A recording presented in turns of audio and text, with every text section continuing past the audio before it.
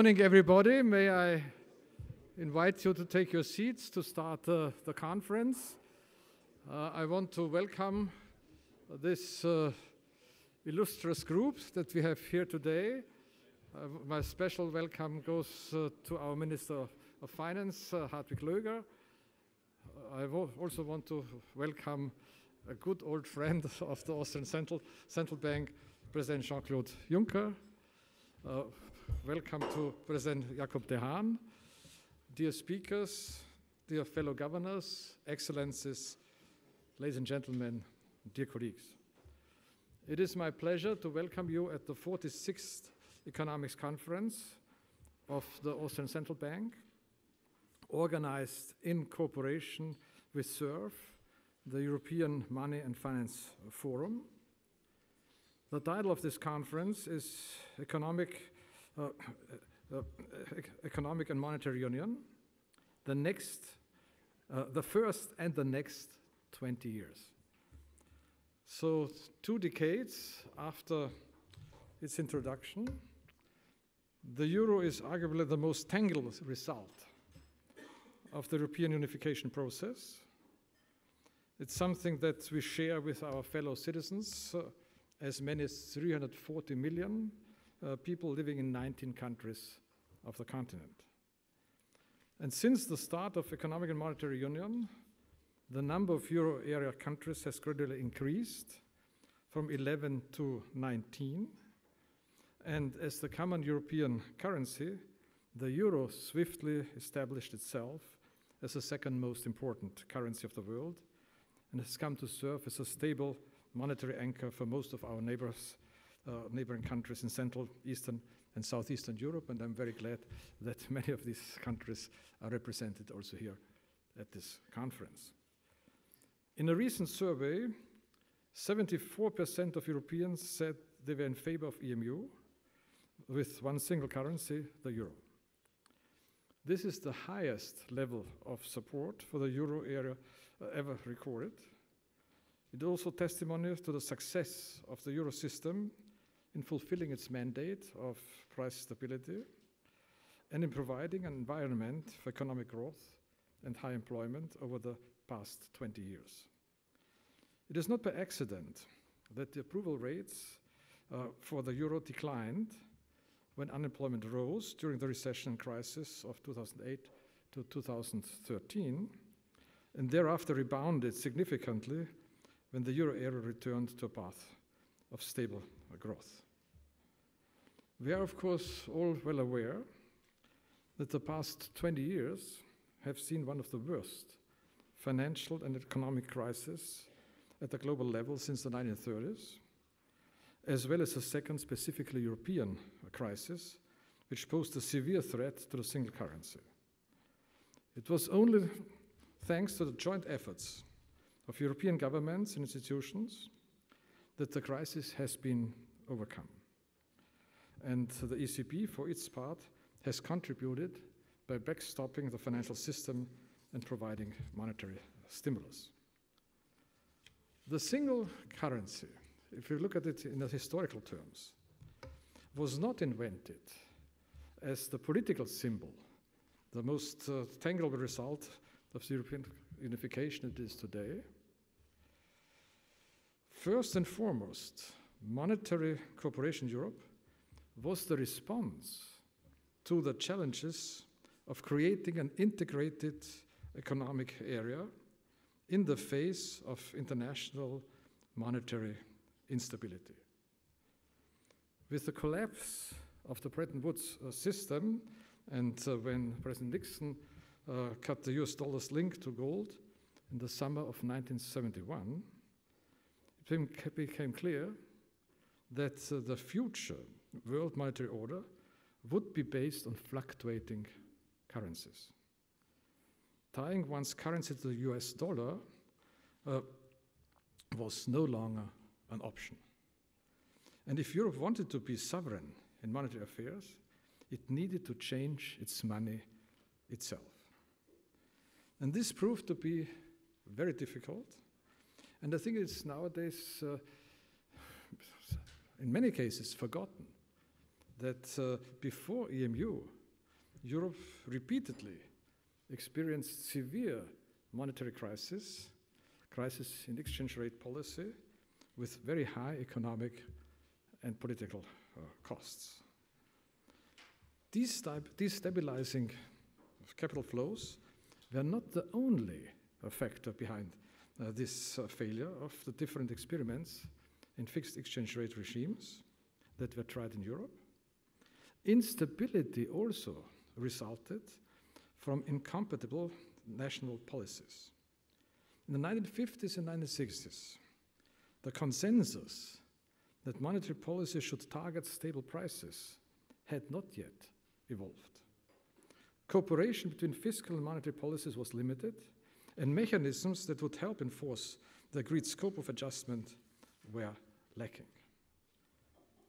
And the key difference to earlier decades and the crucial advantage that we have nowadays is that today we have institutions and procedures in place to help Europe to resolve these conflicts of former times while eliminating economic and political costs of this earlier exchange rate crisis.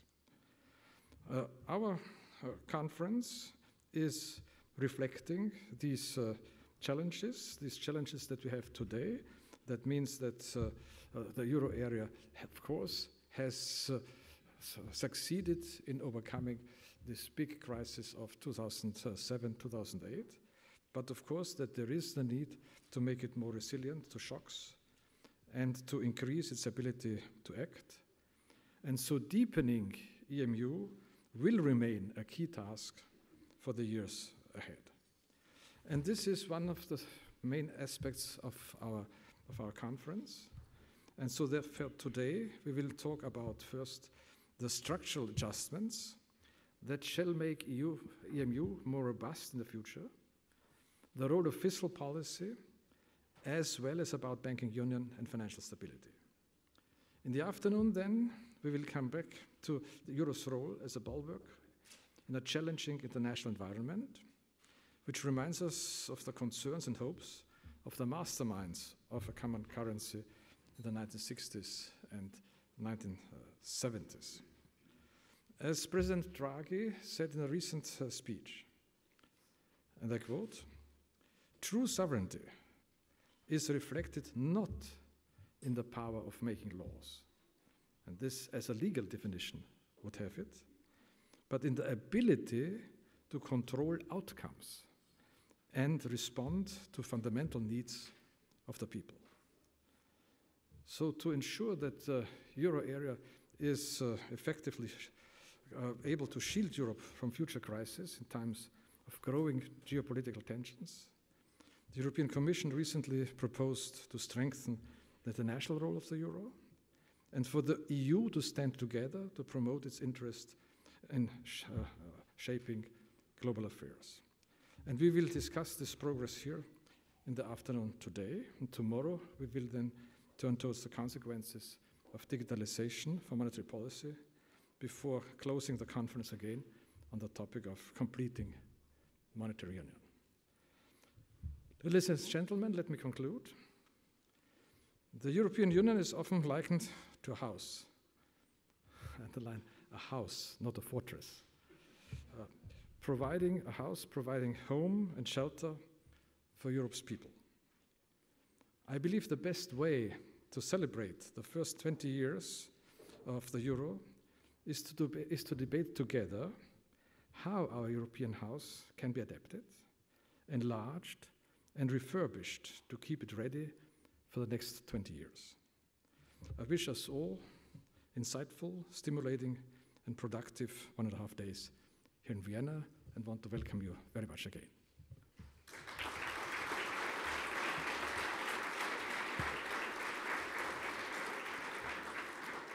I now want to ask uh, Jakob de Haan, Professor Jakob de Haan, President of SUERF, uh, for his opening remarks. Please, Jakob. Thank you very much. Ladies and gentlemen, also on behalf of SUERF, it's a great pleasure to welcome you at this wonderful event. some of you might remember the words of Martin Feldstein when he was talking about the consequences of the introduction of the euro.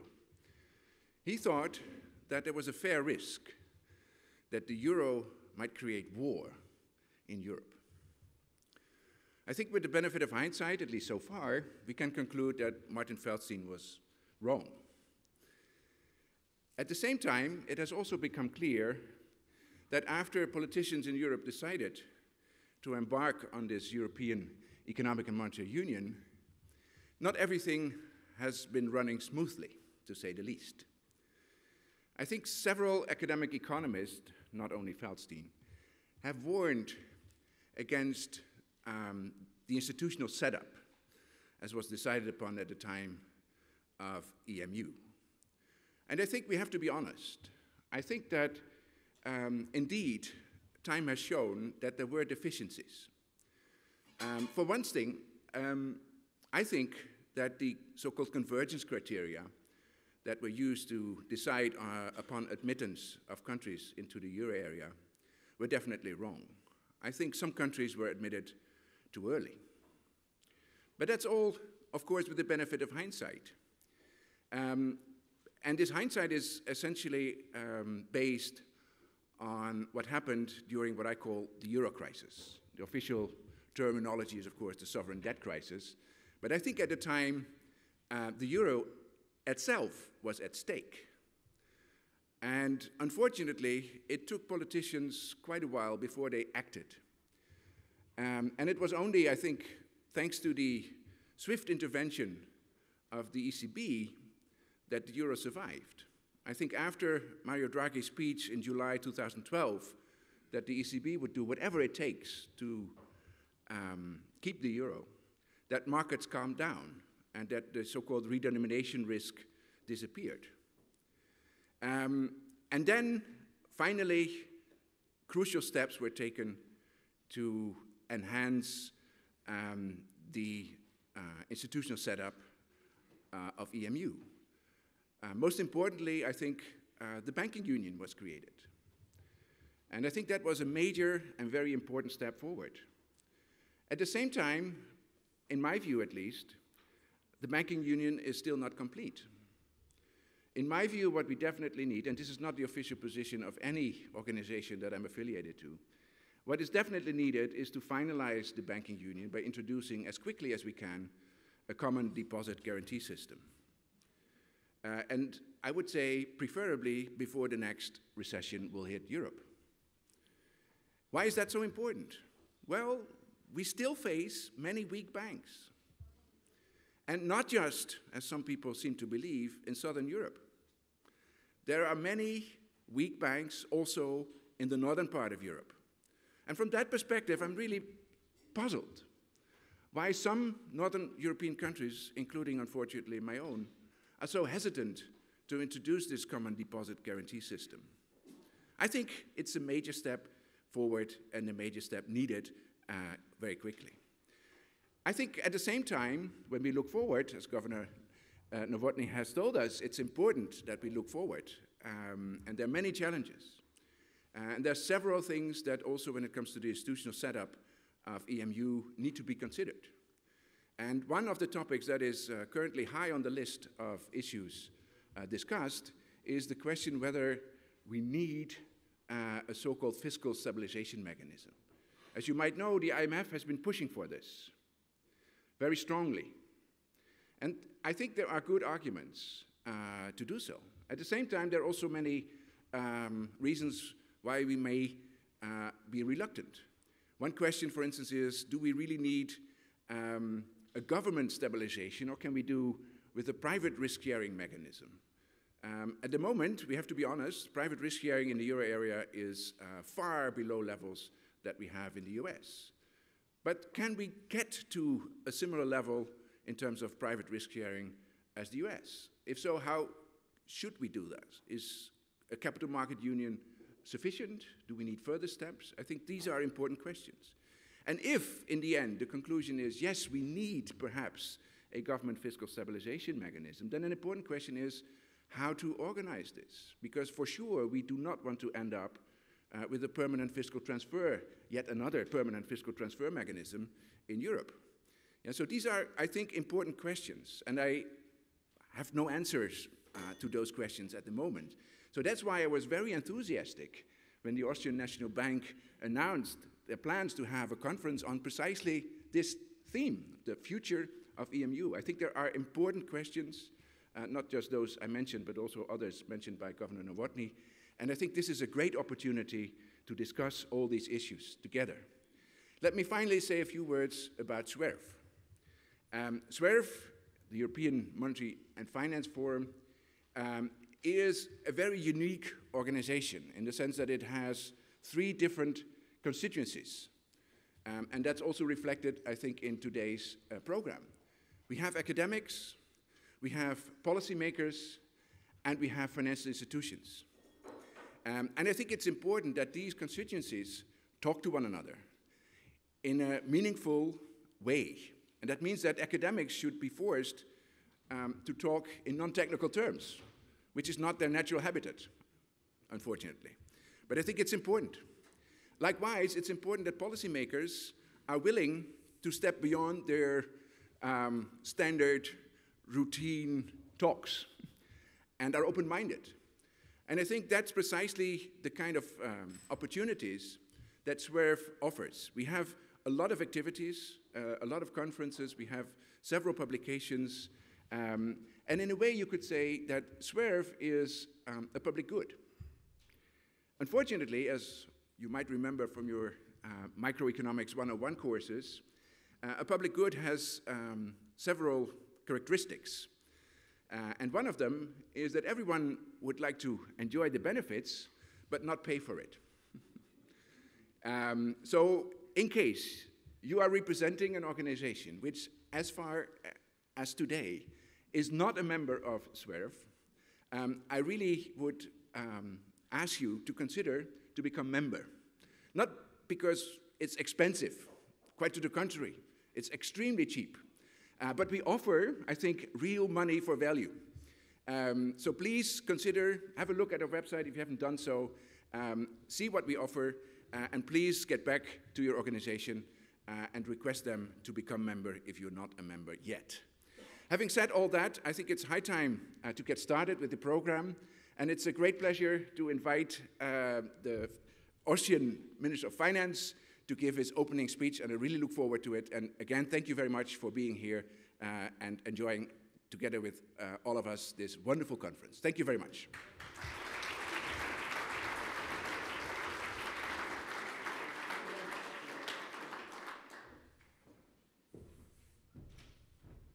So it was very interesting for me, Jakob, to hear in which form you're doing your marketing speech, uh, and you are a big seller, as I have seen. So from my side, first of all, uh, I'm glad, and it's a big honor and pleasure on behalf of the Austrian government to have the chance to, yes, welcome all of you uh, in Vienna, as you know, the most livable city of the world, uh, also announced uh, in this year. Before I start with my speech, I want to take the chance. Uh, Ewald, you're sitting uh, very smoothly here on the side. So, because uh, I think all of you know that uh, Ewald, of course, is still in the responsibility uh, till end of August this year, but uh, in this form uh, to this conference, uh, we all know that it is the last conference hosted by Ewald Nowotny as a governor of the Austrian Central Bank, and I want to take the chance and the opportunity to say thank you also in this format, uh, because when we now celebrate 20 years uh, of uh, EMU, uh, more than half of it, uh, uh, Ewald Nowotny, you also had a very strong input in this form, and the success of the story is also your success in the work, not only in Austria, also in your functions in the ECB. And uh, knowing that uh, we are not always in line with our opinions, uh, for example, also regarding the supervisory authority structure uh, in this form to Austria, but I would say that your advice all the time has been very, very important, also for politics in Austria. And I'm looking forward to seeing it also for the future, knowing that it will be important for us that we have your opinion on our side. So thank you, hopefully all for you. We'll congratulate in this form for Ewald Nowotny.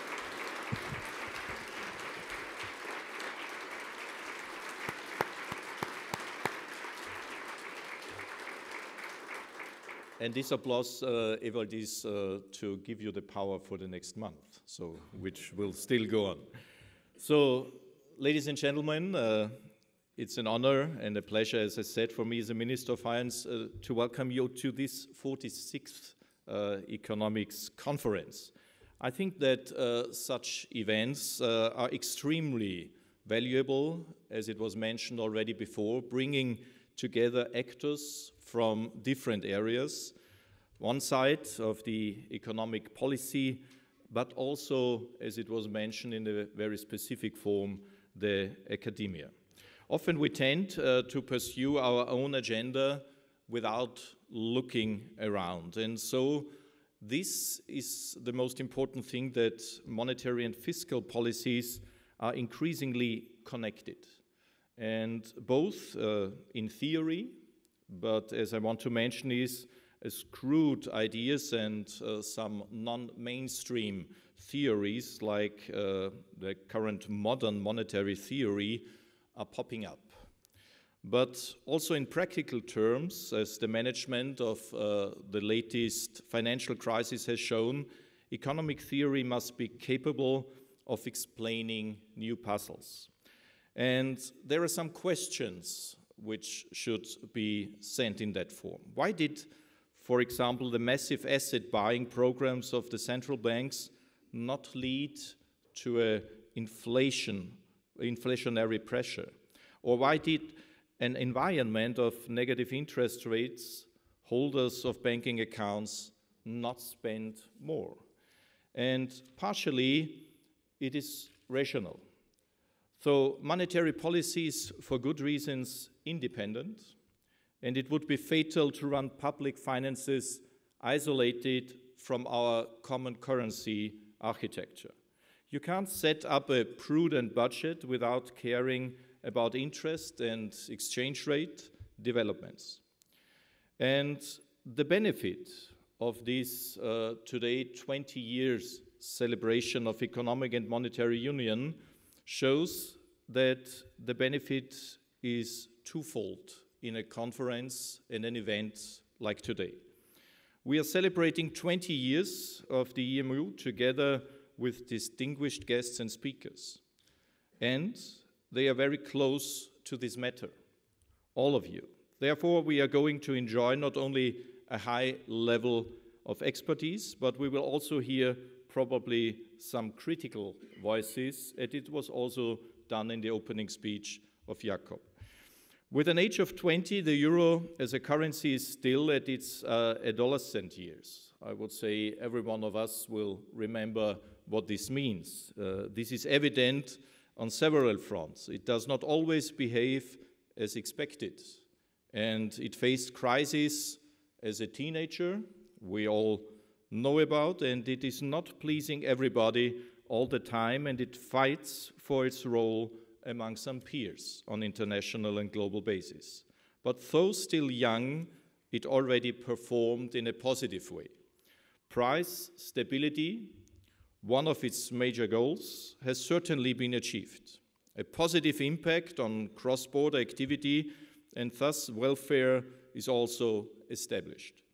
For countries like Austria, especially for our country, the list of benefits is much longer. The tax reform that we decided yesterday in Austria is actually a tangible outcome of uh, European Union and the euro area membership of Austria. Thanks to the economic benefits and of this government's strive for fiscal discipline, we will be able to lower the tax burden to the lowest level since Austria's membership in the European Union.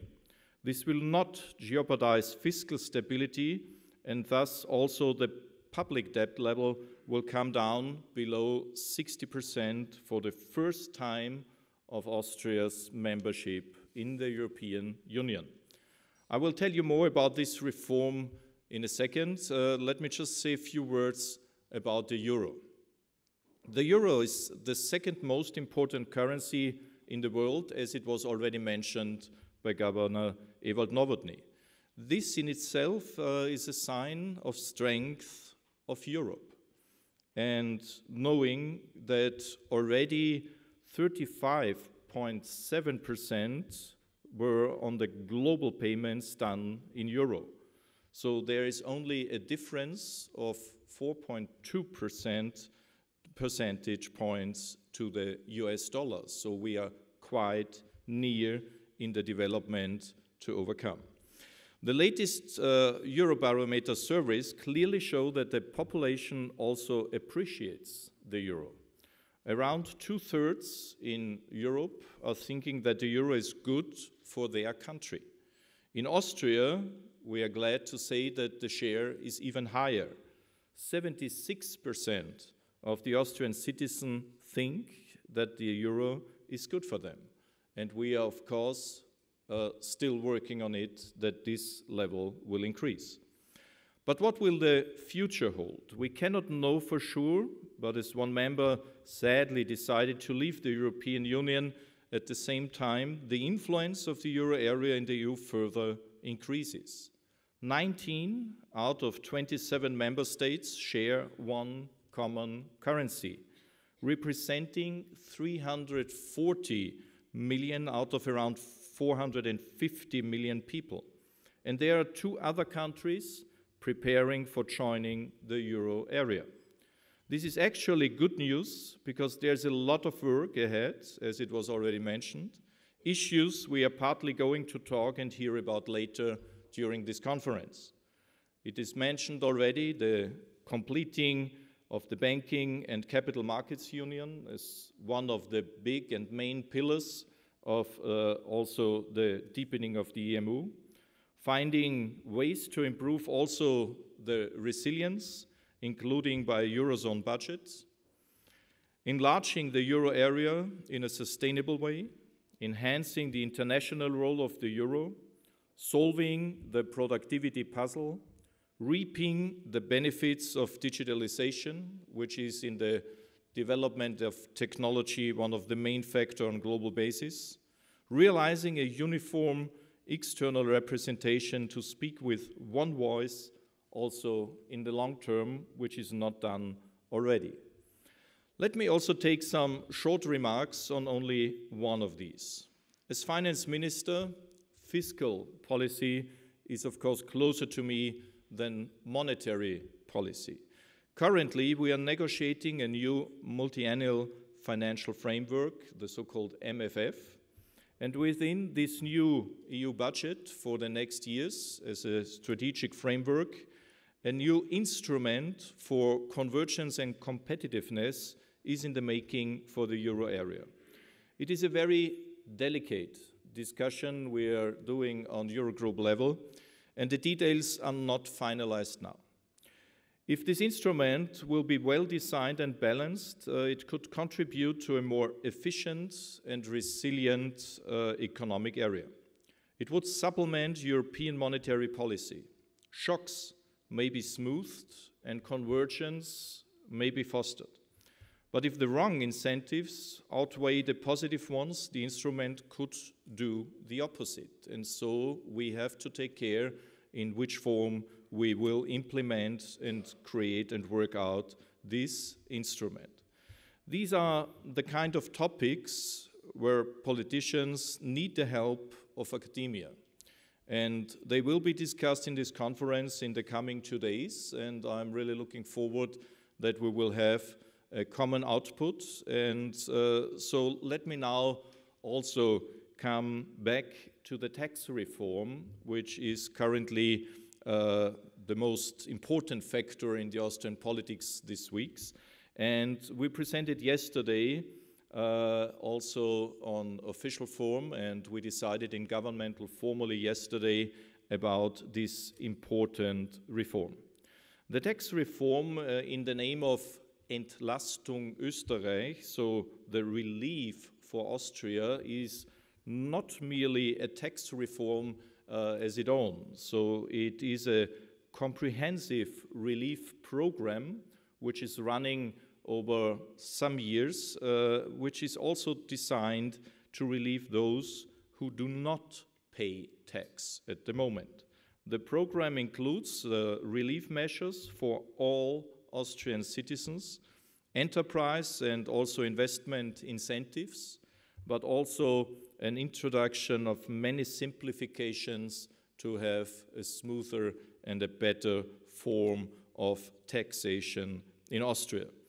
The citizens will be better off and businesses will have more funds for investments as well as new workplaces. So relief for Austria means the redistribution of 6.5 billion euros from the state to the citizens and the businesses. If the family bonus, which has been already implemented this year, uh, together these relief measures are added, it's a high of about 8.3 billion euro of relief. The main beneficiaries will be low and medium earners, so this is a very important factor to have on this part. Also, the Austrian small and medium enterprises will be in the focus of the first steps. The labor factor will be relieved by around 5 billion euros per year, so 75% of the total amount are going into the low and medium earners.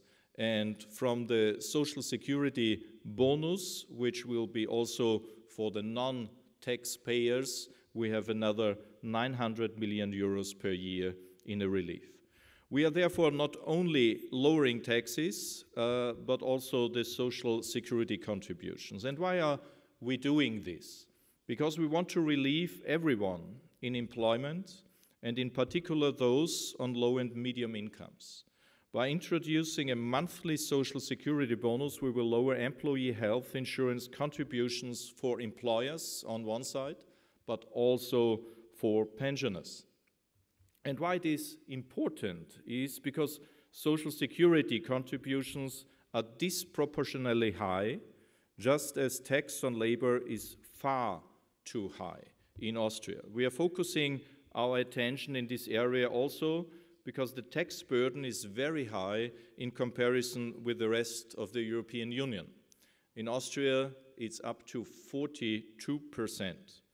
At the start of my term in office, uh, we had the sixth highest tax rate in the world. So Austria, in some meanings, is uh, very proud to be under the leaders of the world, uh, but uh, in the tax burden, I think it's not necessary to be one of the best or the highest.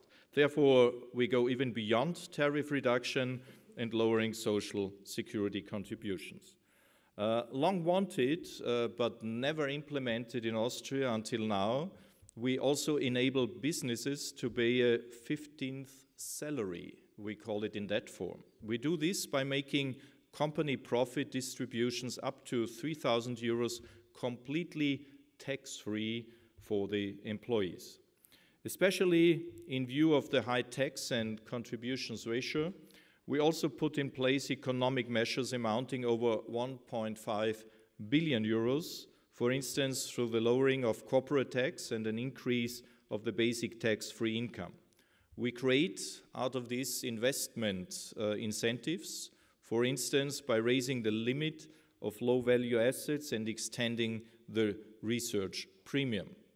Further, there will be steering incentives for environmental measures. For instance, through tax concessions for vehicles with low pollution levels, or tax concessions for biogas, hydrogen, and LNG.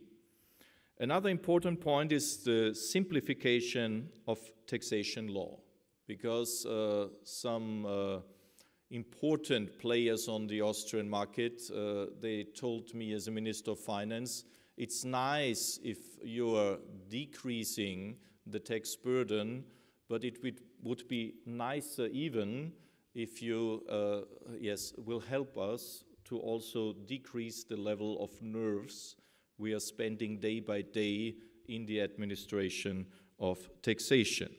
And out of this, also, this simplification uh, is important. We had over the last years more than 160 amendments of the taxation law, and had, this all had become complicated and confusing, and it is no longer comprehensible. So, our goal is clear also in this topic to simplify and bring taxation law up to date, to make taxation law more user friendly, also for all people and also all companies, and to make its application also easier. The structural simplifications are intended to relieve taxpayers by roughly another 200 billion euros. So, my appeal is clear. We are on the side of the taxpayers and make it our business to streamline our own systems so that we can significantly relieve our citizens and increase their living standards. It is not a tax reform that merely shifts funds from one side of the desks to the other. It is a tax reform with fairness as its base, and also its most important distinguishing characteristic is that it will not entail making any new debts. All these reliefs, monetary as well as bureaucratic, are backed by sound counterfinancing. This matters to me as finance minister. We will implement the first tax reform without making additional debt. So, you know why this uh, is important. The debts we incur today, and this is, I think, uh, all over the world the same, will burden us for decades and will burden our children and grandchildren, and it is not fair to do it in that form. So, debts we incur today will be carried by our children, and so our existing interest payments are higher than our expenditure for nursery schools, for example, and primary schools in combination. And uh, another example is uh, at the same time, it's nearly twice as high as our expenditure for all universities we have in Austria. So these factors have to be taken also in, into account when one in, instigates uh, tax reforms like this one. This is what we determined last week at the Ministerial Council. No new debts for Austria, and we will stick by that. All ministries will be required to tighten their belts and the incoming discussions about budget will be even harder, but I think it is in a common sense. Yes, counterfinancing is ambitious, uh, but the last budget has proved that we are a government that saves money by streamlining its own systems. The creation of no new taxes and no new debts makes this tax reform a reform with a common sense and it is based and it is an expression of our determination not to do politics at the expense of next generations. That's what I stand for as a finance minister of Austria, and that's what this entire government stands for. Let me come full circle and get back to the currency union. Countries like Austria, we have greatly profited from being part of the European Union and being part of Eurogroup. This was the prerequisite for the success of these tax reforms. Otherwise, it would not be possible to do it in this way. Other countries still have to do some homework to reap the benefits, but also for those, I'm convinced that the costs of the crisis would have been even higher. And out of this, I wish all of you uh, an interesting and fruitful time in Vienna, good discussion about the benefit of the euro, and I think this will accompany us as our currency also in a hopefully peaceful and prosperous future to the whole European countries. Thank you very much and all the best to the conference of EMU. Thank you very much.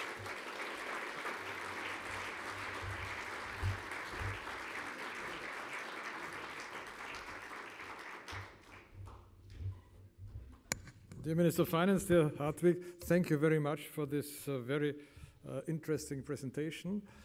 Uh, I'm quite sure that uh, you gave a lot of uh, food, food for thought for many of our foreign guests that we have around here.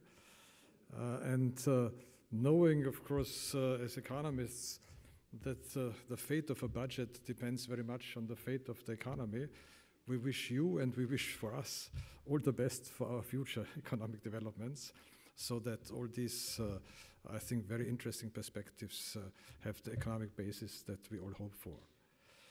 Uh, we have now the, the, chance and the good opportunity uh, to meet again one of the great friends of the Austrian Central Bank, uh, Jean-Claude Trichet. Uh, Jean-Claude Trichet is uh, has been from 2003 to 2011 president of the European Central Bank. He was governor of the Banque de France 1993 uh, to 2003, undersecretary of the French Treasury 1987 uh, to 1993, president of the Paris Club, this is about debt rescheduling, and he was president of the European Monetary Committee for some time. So that means he was really also uh, very much involved in the preparation uh, for, of, the, of the euro. Uh, it is of great pleasure for us to have you here. I may say that as a member of the uh, governing council for now 11 years, I have been a great support and admirer uh, of Jean-Claude Trichet. I was also Im always impressed by his leadership qualities, uh, by his uh, really encompassing economic perspective, and if I may say so, by his uh, European patriotism, uh, patriotism in the right way of the world, not chauvinistic, but for the best of the people we are working for. So, very, very, thank you very much for coming. Welcome in Vienna, and the floor is yours.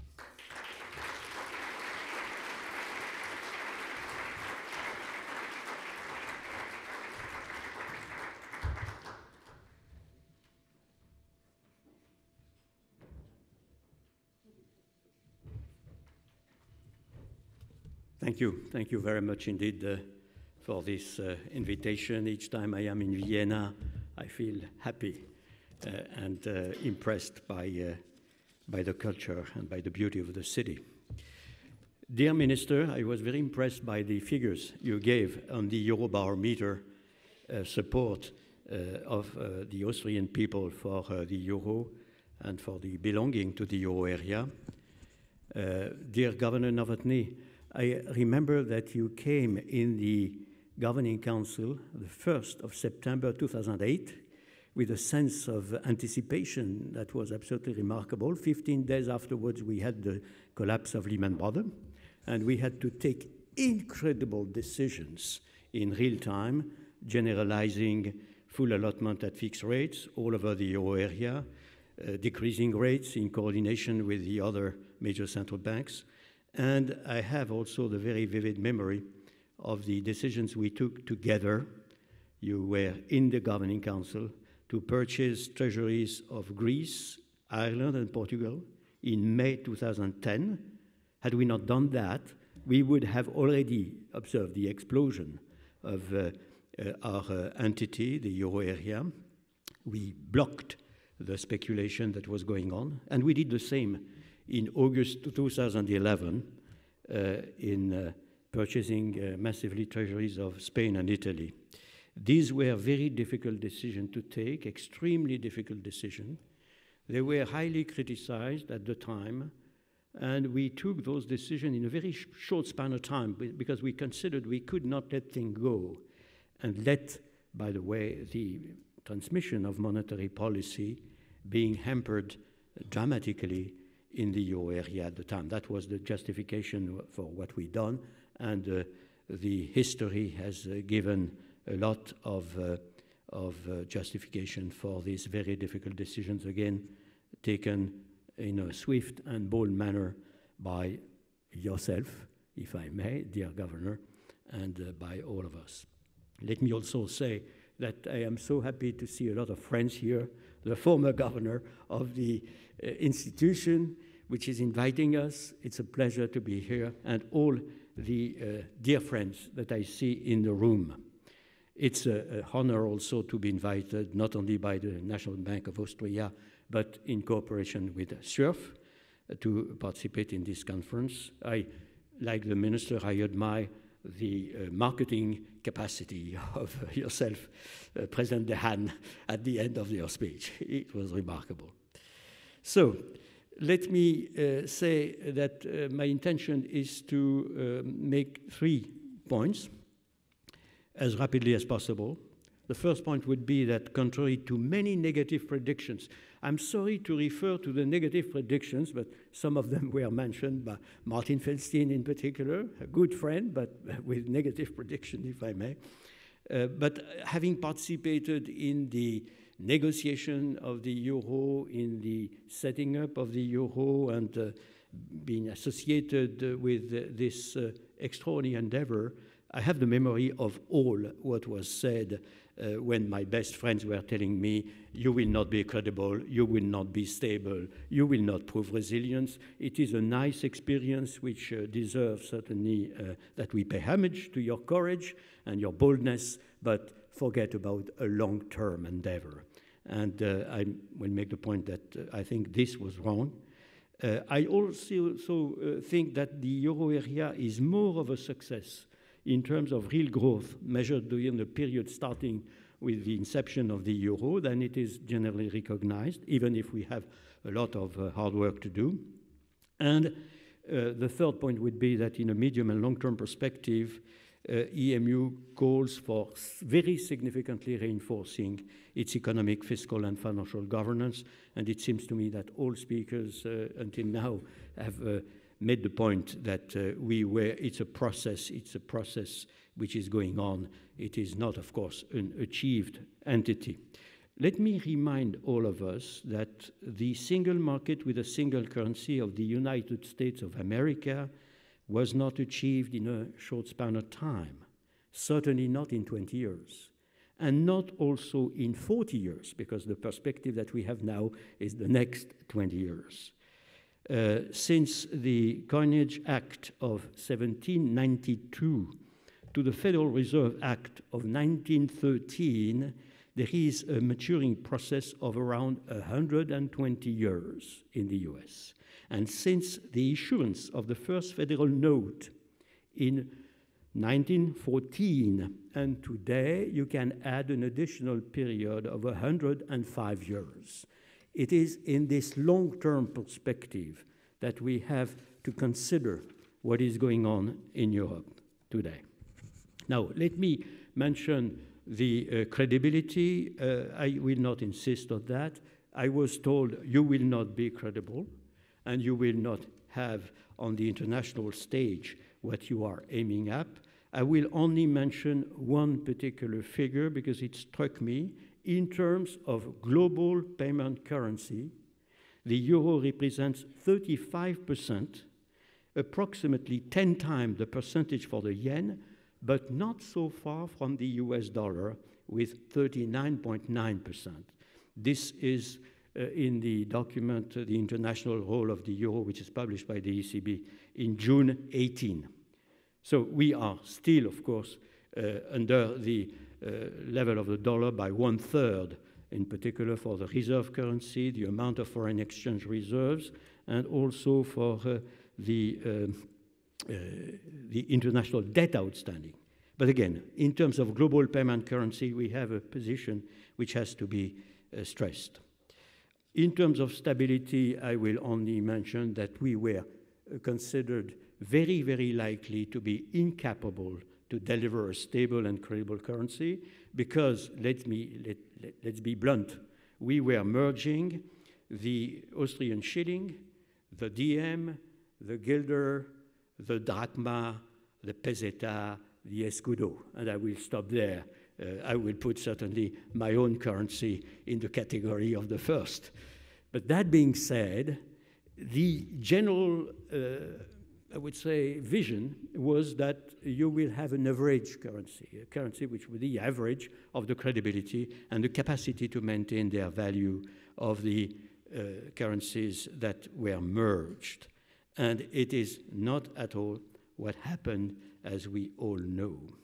So that's something which uh, I must say is extremely important. And uh, I uh, would uh, uh, mention the fact that the, the fact that we have a better result in terms of price stability over 20 years than any of the previous currencies over the 40 years before the euro is something which is quite extraordinary.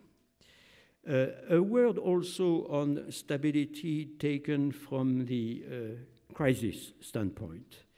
Uh, I experienced myself that many colleagues in 2010, 2011 were, uh, after the start of the sovereign risk crisis, were considering that we, we would explode, we would be dismantled.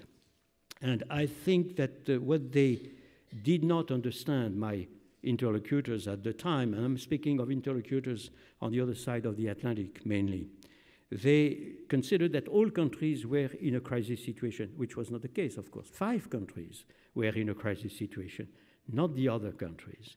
And uh, that, of course, might explain uh, more easily than is usually done the fact that the euro, being the currency that was uh, the single currency for all countries concerned, was not uh, hurt as they would have uh, anticipated. Also, uh, the mistake, the main mistake which was made was to consider that we would be incapable to resist the crisis and to take appropriate decisions. And we clearly took a lot of decisions in the crisis.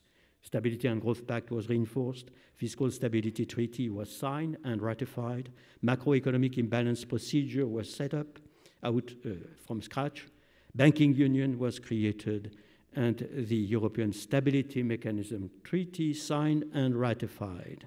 So a lot of weaknesses that appeared in the crisis were corrected partially, of course, but corrected in real time. That was not anticipated. The fact that we would be able to have two new treaties in the time of the crisis was something which was uh, clearly not uh, anticipated. And uh, the third mistake was uh, to neglect the attachment of the people in the euro area to the single currency.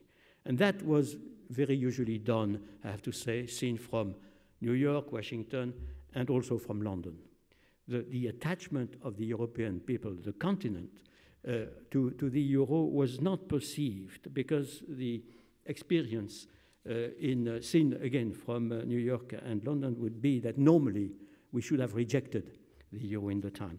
Let me only mention, to make a long story short, the fact that we were 15 countries at the moment of the bankruptcy of Lehman Brothers. The 15 are still there and four new countries got in, so that we are 19 today. But they got in after Lehman Brothers collapse, namely after the start of the worst financial crisis and economic crisis uh, since uh, World War II, could have been the worst financial crisis since World War I, had we not taken, as I said, swift and bold decisions on the side of the central banks and also, of course, taken by governments. So uh, I, my last point would, would certainly be to mention that popular support, because uh, uh, the Eurobarometer was mentioned. If one doesn't look very carefully to the Eurobarometer, one can have a lot of difficulty to understand what's going on in Europe, I would say, uh, in uh, continental Europe. Uh, I will say also, uh, mention also a few words. Uh, it was already said that the euro was supported. The minister was very eloquent on that, and, and also uh, Nowotny, the governor Nowotny, sorry. but we have we have also comparisons which are striking. And I said I, in front of the, of the minister, I, I don't take that uh, uh, government or, uh, or parliament in Austria have no confidence. But if I take the euro area as a whole, when I compare confidence in the European Parliament with confidence in national parliaments, I have 48% versus 35% of confidence, highly surprisingly in my eyes because the European Parliament is not supposed to have a lot of trust. And overall, 39% versus 58% for no confidence.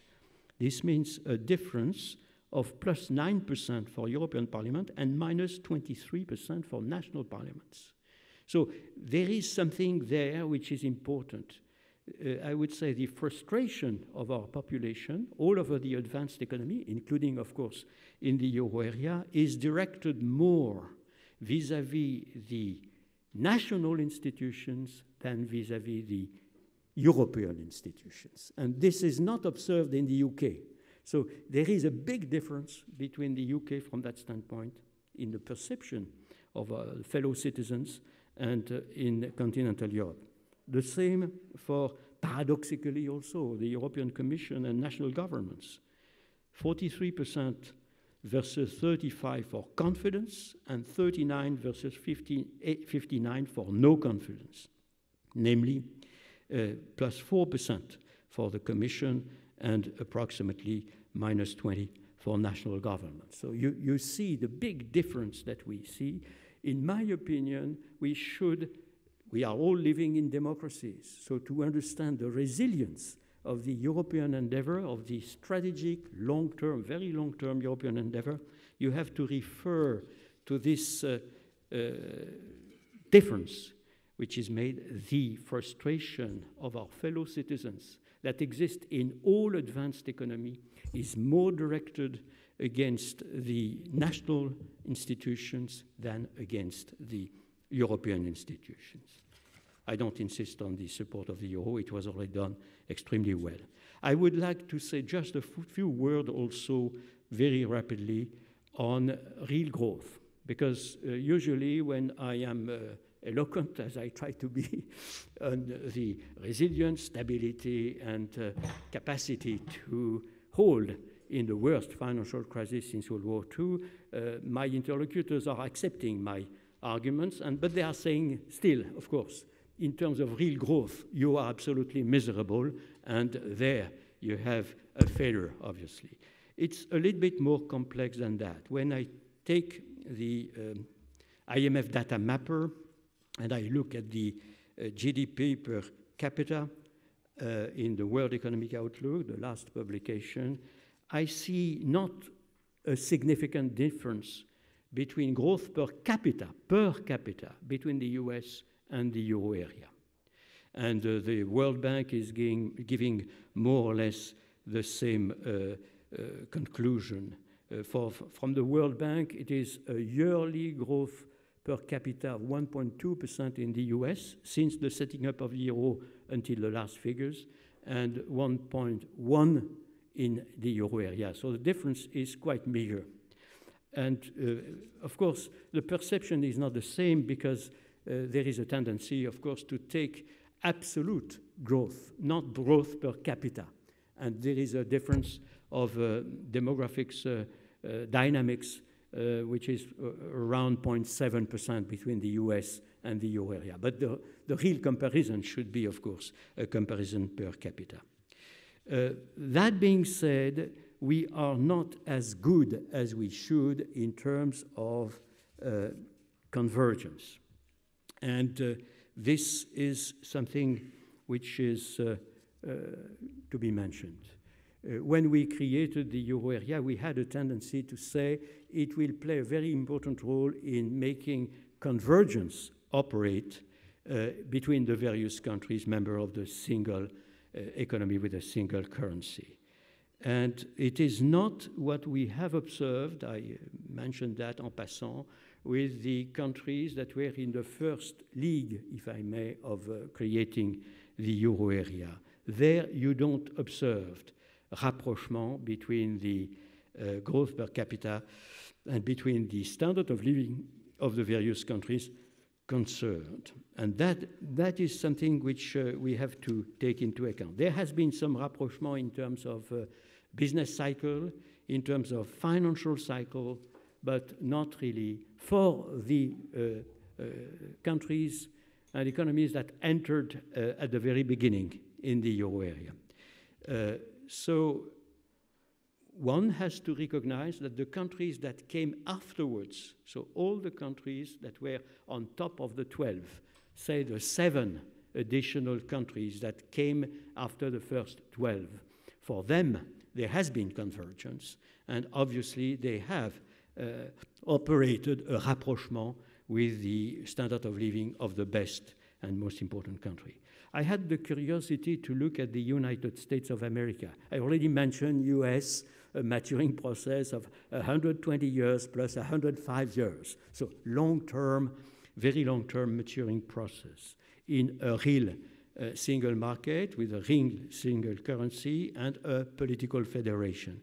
And I was, I have to say, quite struck to see that the state of Mississippi, uh, compared to the state of Massachusetts or the state of New York, according to the US Bureau of Economic Analysis, uh, is in a difference of uh, relative difference, which is more or less the same between Portuguese and Greek standards of living compared to, uh, to the uh, German.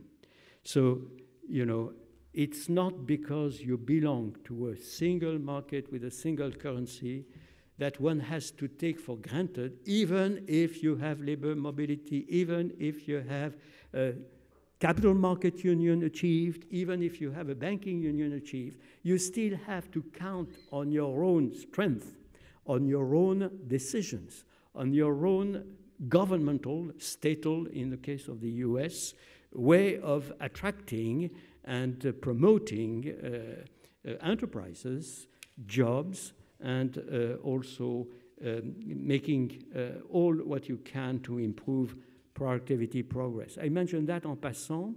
It's not very popular to say that. Normally, we say, uh, of course, we are not yet at the uh, end point, but we will do a lot and we will uh, equalize the standard of living. I think we have to be fully aware of that.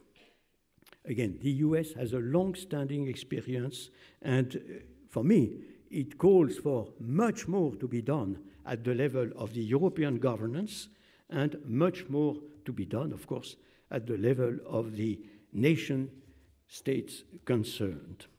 Now, let me take my third point precisely, which would be what should we do now? What is the best way to proceed at the present moment? And uh, I would list, if I may, the, uh, all the, um, uh, I would say, uh, uh, element that I will take as being very, very important in the present, present circumstances. I will share very much the vision of President de Haan that uh, we have to achieve banking union. It, it, would be my number one thing. It's already been decided. It's not achieved. We have to achieve both, I would say, uh, the deposit guarantee, which was mentioned, and the single resolution dimension, because there we have to achieve what was already decided and which is of the essence. I would add, capital market union is, and we have to remember that always, in the United States of America, the best way the states are protected from asymmetric shocks is not the fiscal transfer, it is the capital market union and the banking union. So, because, because risks are spread all over the United States and the new credit are made in any particular state uh, according to a system which is pan United States. Uh, it is not the case in, uh, in the case of the euro area, and we have to do a lot more. But even on top of that, I have to say, when I compare the uh, banking sector in the euro area or in Europe as a whole and the banking sector in the US, I see an enormous difference in terms of restructuring, uh, reshaping, uh, profitability, uh, which I explain because they are still in the single market of services. And you would expect, of course, the, the banking services being at the heart of the single market of services. We have not achieved that single market and we still have a lot of national hurdles to prevent from the appropriate cross-border um, restructuring and reshaping that, would, uh, that are, uh, of course, of the essence in the United States. So we have a lot to do there. Of course, the crisis created the sentiment that each particular country had to protect against the possible consequences of a new crisis. But again, it's a very important point. We cannot accept, in my opinion, to be lagging behind the United States and China as we do in this domain of banking services, as we do in the digital area. I mean, these are the two domains where the uh, anomaly of Europe are the most striking. Second point I would insist on apply seriously and rigorously the provision of the two main pillars of economic and financial governance. And for me, you have the Stability and Growth Pact on the one hand, and the macroeconomic imbalance procedure on the other hand. And I expect the European to apply by the rules of the macroeconomic imbalance procedure as they do and should do for the Stability and Growth Pact. Uh, number three, if my, in my recommendation, improve the decision making inside the European Stability Mechanism. I mentioned also en passant, the Europeans are very often uh, under assessing what they have been done, uh, what they have done. The European Stability Mechanism is the multilateral institutions with a callable capital of 624 billion euros on top of its paid-in capital of 81 billion. So we have a subs subscribed capital of 705 billion euros. It is the most important uh, multinational institution with such a big subscribed capital. That is something which has been decided in the crisis, which is uh, not recognized, in my opinion, as it should. Also illustrates very well the capacity of the euro area and of the European to make very important decisions when needed. But the decision-making process, which re relies upon unanimity, doesn't seem to me appropriate in such an institution. Fourth uh, recommendation, design a Minister of Economy of the euro area. I don't insist on that. It's not very popular. I take it that we need somebody to not to be simultaneously a Minister of Finance of a particular country, but to concentrate on precisely European governance, fiscal governance, uh, economic governance, financial governance, and uh, also representation uh, at the outside the euro area, outside Europe. The minister mentioned that. I think it's also very important that uh, we, we have on the executive branch, on, on the central bank uh, side of the coin, you have this single representation of the system as a whole, but not on the executive branch side of the coin. I would also uh, think that uh, we have to reinforce the democratic legitimacy of EMU by giving the last word to the members of the European Parliament elected in the euro area when there is a conflict between a government and the European institutions, which has happened in the past. Uh, think of uh, Greece, and could happen in the future uh, if we are, uh, again, in very difficult time. And I take it, I take also the fact that our people are voting now and for an institution which is, has some trust, as I already mentioned, given by uh, our fellow citizens, I take it that it would be something which would be appropriate. I mentioned in 2011 the necessity, in my view, to have a Minister of Economy of the euro area, and I mentioned also in 13 that maybe we could increase the, uh, and improve the democratic uh, legitimacy of EMU.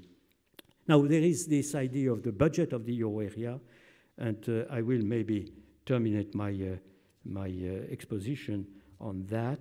Uh, it's a decision which has been taken in principle. When you speak of a budget, you can mention several different functions. You could finance uh, public spendings that are national today and would be federal tomorrow. So it would be the embryo of a federal budget. There has been some proposal in this respect. This is perhaps in a very long term perspective something where you could have, if we decide to do so, uh, defense, uh, common defense, common security, border control. I would certainly consider that border control, at least of the Schengen uh, countries, is absolutely necessary. And uh, we should have there something which would be consistent with the decisions which have been taken and also taking into account the uh, threats of the present time. A second vision of the euro budget, euro area budget, could be the role to play an anti-cyclical cushion, which would accumulate, accumulate capital during the, uh, uh, I would say, affluent episode in the cycle and uh, would permit to uh, counter the, uh, I would say, negative episode of the cycle, uh, particularly when it comes from a global shock. That is something which has been entertained by some economists. It's not very popular, as we know. Third, we could have a financing of large pan-European infrastructure investment, technology investment, R&D, digital uh, sector is a case in point. Uh, that uh, is also something which is possible. And uh, the idea which seems to me to have the best chance to materialize would be to help countries badly in need of structural reforms in order to have an economy more flexible and uh, more efficient inside the single currency area. We will see exactly what decision is taken. The minister will take the decision. And uh, I know that it is uh, fiercely uh, discussed, not disputed, but discussed in the, in the euro area. We will see. There has been, again, a decision in principle to set up a budget.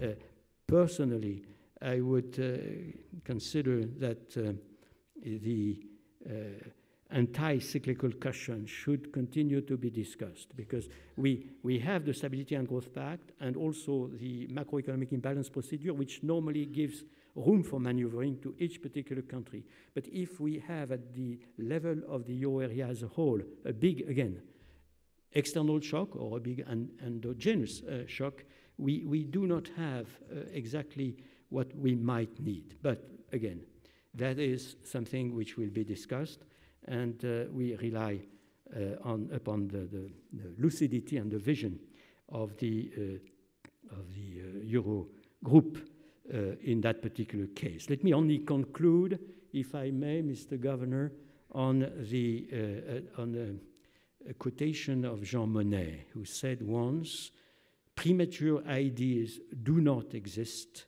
One must bide one's time until the right moment comes along. And it is the way we are making Europe at the present moment. It is the principle which was applied by the US over a very long period of time to improve and improve and improve the single market with a single currency. I think, paradoxically, perhaps, in the time of the dramatic crisis that we had to cope with, we proved a capacity to continue to proceed and to proceed in a way which was not expected ex ante. Thank you very much for your attention.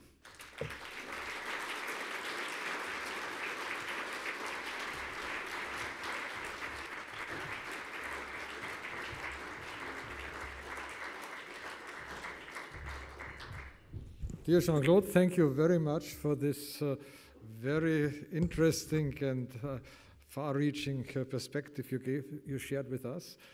Uh, as I said uh, before, uh, Jean Claude is a real European patriot. And you have seen this both in this perspective uh, with historical terms and perspectives for the future. So I think this is a wonderful start. Of course, now it would have been a very interesting uh, position to have a discussion between you and our finance minister, uh, but we will try to substitute this in the course of this, of this conference.